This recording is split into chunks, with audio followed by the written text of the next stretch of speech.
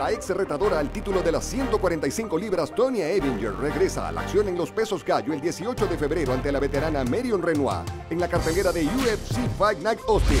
Cintia Calvillo se las juega todas ante la ex campeona de peso paja Carla Esparza este sábado en la cartelera de UFC 219. Mira la previa de este combate y más contenido en ufcespanol.com.